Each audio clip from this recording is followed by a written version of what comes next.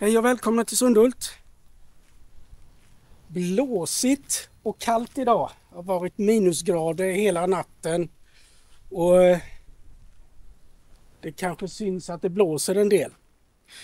Dagens film kommer att handla om eh, nyheter i träverkstaden. Eh, ett titt på ATV. Att köra balvagnen med ATV.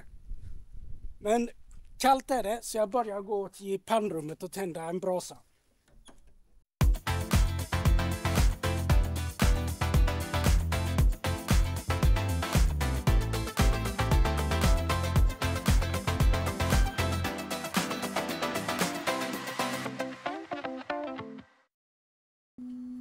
Jag har varit minusgrader nu då. Det är dags att byta till vinterdäck. Tur vi har en dotter som kan hjälpa oss att byta däck på bilen.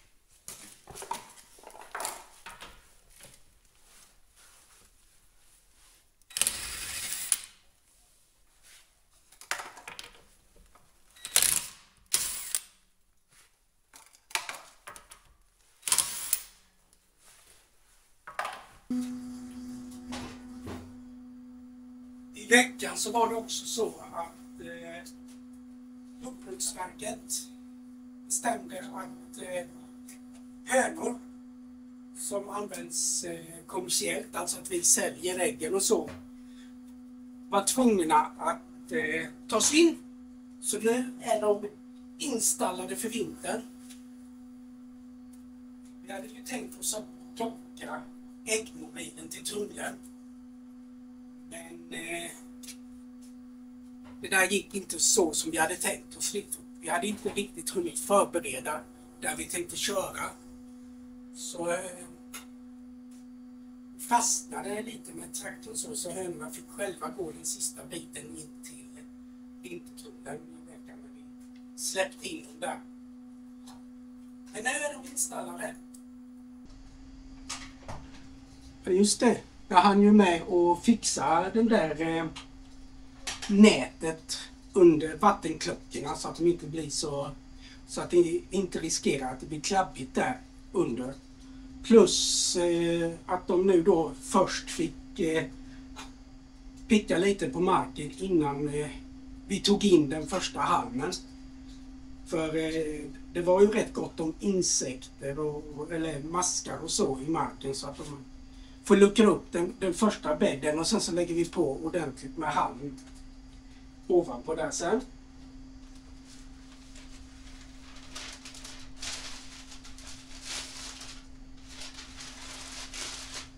Lite papper för att tända på. Rökgastemperaturen har kommit upp rätt. Då kan vi stänga och kila mot träverkstan.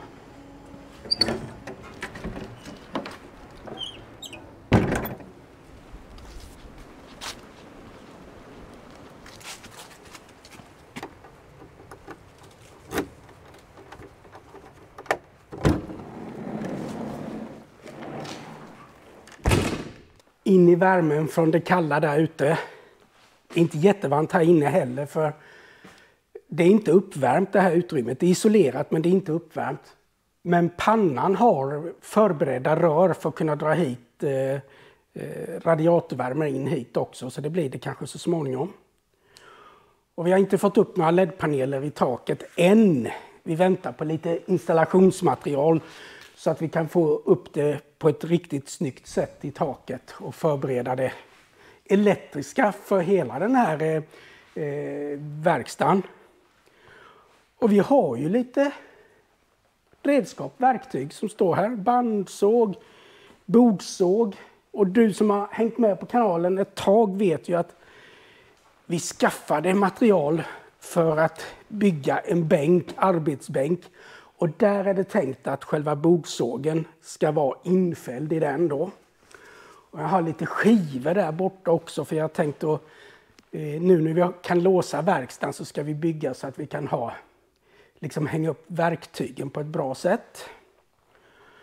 Men eh, jag vill använda mig av Joel Salatins tankar. Att ha så mycket mobilt som möjligt att inte liksom låsa fast var bandsåg och, och hyvel eller bogsågen ska stå riktigt. Så den, den arbetsbänken med bogsågen den ska vara mobil så man kan flytta hela och den kommer ju vara eh, som en hel eh, skiva då. 240 gånger 120 ungefär eller någonting sådant. Den arbetsbänken. Men man ska kunna skjuta undan den då. Och då har jag fixat här så att jag har speciella hjul som vi ska använda med låsningar. Som, eller den höjer hela bänken när man flyttar på bänken då. Eh, som är tänkt att användas så att man får den bänken flyttbar. Men det har vi tänkt att göra även till hyvel och så. Att få dem, det, det är ju så, när man arbetar med ett stycke i hyveln och ska köra den för att få rätt tjocklek här nere. Då behöver man ju utrymme på bägge sidorna. Dels för att kunna stoppa in ämnet man ska arbeta med och få ut den. Och då är det ju bra om man bara kan dra fram den där man ska använda den. Och här i mitten, så vid porten, vi vill kunna köra in med, backa in med släpet och lasta av när man kommer med någonting. Så eh, här kommer det ju vara utrymme rakt igenom. Och då är det jättebra om man kan ha eh, verktygen så att man kan liksom flytta dem fram och tillbaka. Och det är ju likadant med själva den här eh, bandsågen. Ofta så kanske man kan arbeta med den ganska nära väggen. Men ibland så har man något större stycke och behöver mer utrymme runt sågen. Ja, men det är bra om man kan flytta ut den lite. Så därför har vi skaffat någonting här. Här har vi köpt eh, underreden till, eh, till snickerimaskiner som man kan eh, ha för att de ska kunna vara mobila. Jag får nog ha lite lite. Nej, titta, det gick bra. Det ska ju gå att vända på de här såna här packband och så dra i den flärpen. Så ska det lossna.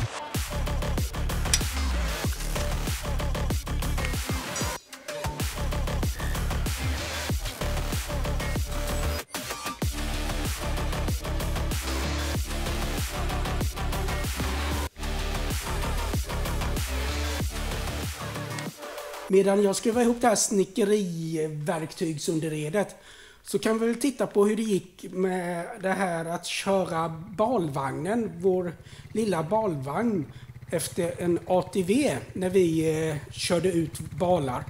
Det är ju så att på vintern så kör vi ut balar ut i hagarna och vi försöker göra det på hösten innan det blir för dålig bärighet. Så Jerry som har en ATV, han tog ATV-vagnen och körde ut lite balar där vi ska ha tjurar i vinter.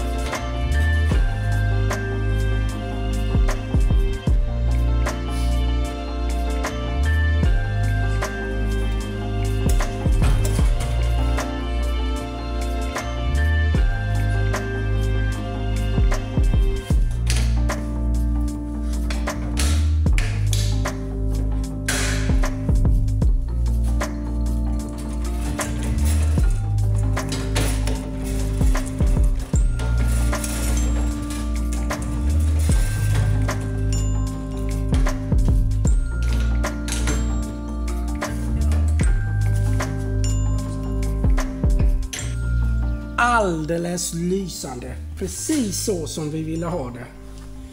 Bara upp med bromsarna och sen så kan vi dra fram hyven. Rätt plats, låsa. Nu kan man låsa här på bakhjulen också. Ska vi göra det nu bara för att den verkligen ska stå stilla. Och sen så går det att skruva fast den i underredet också där sedan. Så det är ett steg i att förbättra verkstaden, träverkstaden. Någonting, jag sa att det skulle vara en stor nyhet också eller så. Det är vad vi tänker ha här temporärt. För nu är det faktiskt så att vi har beställt ett eh, bandsågverk som vi tänkte ha här inne till att börja med. Så att vi kan eh, ja, såga upp virke från egen skog och använda här på gården. Så eh, leveranstiden är, vad var det? 8-9 månader så det är, det är inte förrän framåt sommaren nästa år som bandsågverket kommer. Men eh, det blir riktigt bra. Vi har tagit till lite, en liten större såg med en del automation så att man ska orka med för rygg och, och fysiskt och så. Och så får den stå här inne först och så gör vi en vagn så att man kan köra in virket och arbeta upp det här. Och då är det också fantastiskt bra om vi kan köra undan våra verktyg, eh, eller ja, redskap och så, medan man sågar, för det lär ju bli en del skräp och sågspån och annat. Men det ser vi verkligen fram emot. Men eh, vi får berätta mer om, om bandsågverket i senare filmer. Hoppas du har gillat den här filmen. Har du gjort det så sätt gärna en tumme upp och eh, börja prenumerera på kanalen om du inte redan gör det. Och så ta en titt på de här andra filmerna som eh, vi har att erbjuda på vår kanal. Annars så säger vi hej hej från Sundhult.